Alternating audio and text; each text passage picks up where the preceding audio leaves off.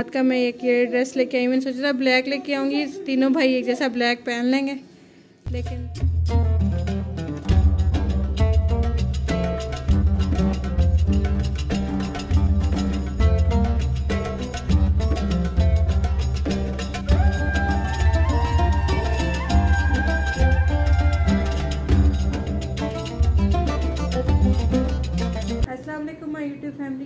क्या हाल है आप सबको उम्मीद करती हूँ आप सब ठीक ठाक होंगे। आज है उनतीसवां रोज़ा।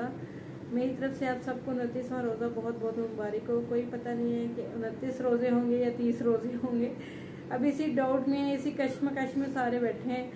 तो आज अगर मैंने अपने करने तमाम काम ख़त्म, कि कोई पता नहीं होता कि चाँद कभी भी नज़र आ जाए। तो मैंने अभी तक कोई की ग्रोसरी नहीं की, कोई सब्ज़ियाँ नहीं लेके आई। असल में हस्बैंड को बिल्कुल टाइम नहीं मिल रहा तो वो मेरे साथ नहीं जा सकते। तो उन्होंने कहा, तुम जाओ, मैं तुम्हें पैसे देता हूँ, खुद ही कर रहा हूँ। क्योंकि ईद के टाइम पे उनका काम तेज़ था तो उन्होंने कहा, मैं नहीं जा सकता।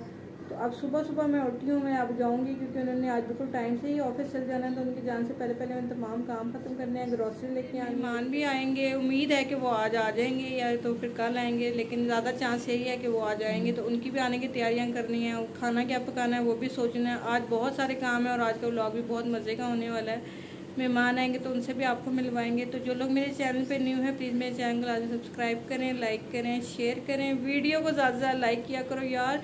पूरा रमज़ान एक भी छुट्टी नहीं की मैंने डेली ब्लॉग आप लोगों के लिए बनाया है तो एक लाइक तो बनता है। तो बस अभी मैं जा रही हूँ ग्रॉसरी आप लोगों को दिखाऊँगी कोई वहाँ पे ब्लॉग शूट नहीं कर रही क्योंकि मैं कोई ज़्यादा मेन मॉल में नहीं जा रही मैं यहाँ पे हमारा छोटा सा एक शॉप है वहाँ पे जाऊँगी वहीं से सारी चीज़ें ले लूँगी क्योंकि पहले मेरा इरादा था कारफोर पे जाने का वहाँ से चीज़ें तमाम लूँगी लेकिन टाइम नहीं है हस्बैंड के पास भी टाइम नहीं है और टाइम हमारे पास कम है तो यहीं से यहाँ जी मैं अभी लेके आई हूँ घर का तमाम राशन जो ईद पे चाहिए।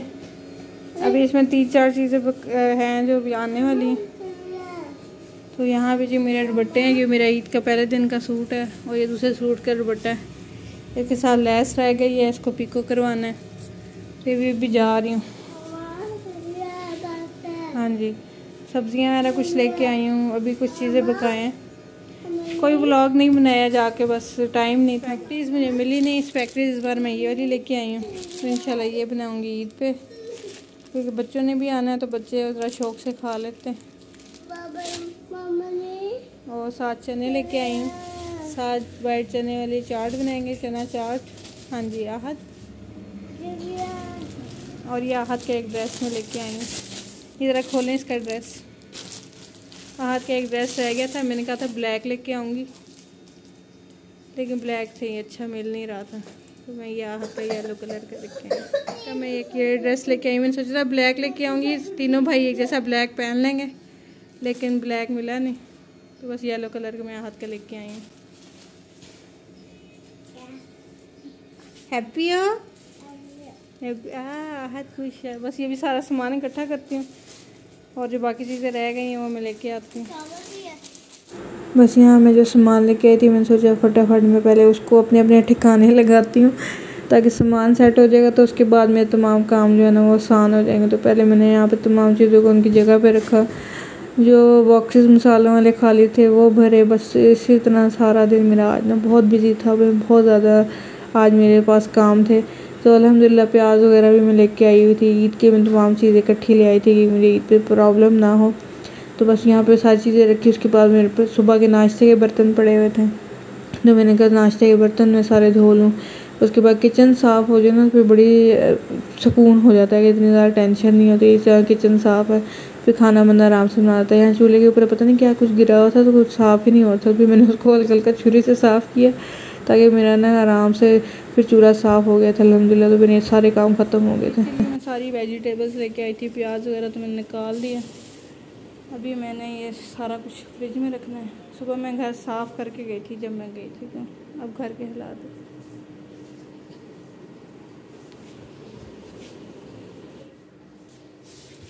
सारा घर गंदा अभी मैंने सारा वॉशरूम वॉश किया।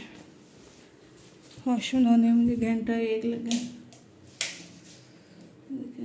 हालाँकि मैं मार्केट जाने से पहले तमाम सफ़ाई करके गई थी तो वापस आए देखें कितना गंद। फिर वहाँ बच्चों वाला घर कभी भी साफ़ नहीं रह सकता। तो मैंने आज पता नहीं दिन में कितनी बार सफ़ाई की। पहले यहाँ मैंने अब सारी सफ़ाई की, फिर यहाँ मैंने अब वहाँ पे सारा नीचे से गीला कपड़ा फेर के अच्छी तरीके से साफ़ किया। मैं यहाँ पे कारपेट बिछाने लगी वो कारपेट जो मैंने मेरे हस्बैंड ने साफ़ किया था। आज वो नहीं थे तो आज मैंने अकेली नहीं बिछाया। अभी भी इसमें से बड़ी डस्ट रही थी तो खैर मजबूरन मैंने फिर इसको दोबारा बिछा के फिर साफ़ किया। आज मैं ज़्यादा थक किस लिए गई हूँ क्योंकि आज अकेला करना पड़ा तो बस यहाँ अकेली मैंने बिछाया। फिर इसके ऊपर मैंने गीला कपड़ा मार के इसको अच्छे तरीके से सही तरह साफ़ कर दिया। अल्हम्दुलिल्लाह फिर बहुत बेहतर हो गया। ये सेटअप मैंने कर दिया यहाँ पे बैठने के लिए कुशंस रख दिए यहाँ पे चार पैसा तैयार कर दिए और कारपेट पूरा बिछा दिए अभी बस ये जो है चारपाई के नीचे थोड़े थोड़े देने ताकि वो कारपेट ख़राब ना हो। तो ये हमारे मेहमानों के लिए सिटिंग तैयार हो गई। बच्चों के काम देखें जब से ही मैं कारपेट बिछाया मैं कोई आठ बार साफ़ कर चुकी हूँ। हाय। अभी मेहमान नहीं आए इससे पहले पहले मैं आठ बार साफ़ कर चुकी फुल लुक है। बड़ी मेहनत लगी आज सारा काम मैंने अकेली ने किया। अभी मेहमानों ने आना है आने में उनका घंटा डेढ़ है। मैंने अभी उनके लिए अफ्तारी बनानी है। खाना वगैरह बनाना है फिर देखो। अभी बच्चों को मैंने सिर्फ़ आहत को नहलाया है। इसको सुलाऊँगी ताकि बाकी काम कर सकूँ। वॉशरूम में मैंने अब दोबारा साफ़ करना बस। सफ़ाई करते करते सारा दिन निकल जाता यहाँ जी मैं बना रही मेहमानों के लिए कोफ्ते। कोफ्ते मैं कर रही हूँ फ्राई। दूसरी तरफ़ मैंने प्याज भी ग्राइंड करके रख लिया, टमाटर भी ग्राइंड करके रख लिए, आलू मैंने काट के रख लिए, आलू कोफ्ते बनाऊँगी। सलाद मैंने बाहर निकाल लिया। तो यहाँ मेरे जी हो रहे हैं कोफ्ते फ्राई। और टाइम नहीं है, वरना आप लोग साथ पूरी रेसिपी भी शेयर करती। तो उन्होंने जी मेहमान के लिए बस यही खाने में आज यही बनाना है, क्योंकि वो लोग ज़्यादा फ्राई चीज़ें नहीं खाते। तो इसके साथ एक दो और आइटम कर लेंगे, फिर बस यही आज की अफ्तारी होगी। तो अल्लाह खैर करे, थोड़ी देर मेहमान पहुँच जाएँगे, फिर आप लोगों को उनसे भी मिलवाएँगे। देखिए जी। अच्छा ये जो कोफ्ते हैं ना, ये मैंने घर में नहीं बनाए, ये मैंने मार्केट से बने बनाए लिए हैं, चिकन के कोफ्ते। हैं